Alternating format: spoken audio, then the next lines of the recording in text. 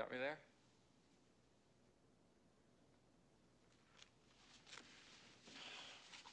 How does Brundlefly eat? Well, he found out the hard and painful way that he's very much the way a fly eats. His teeth are now useless because although he can chew up solid food, he can't digest it.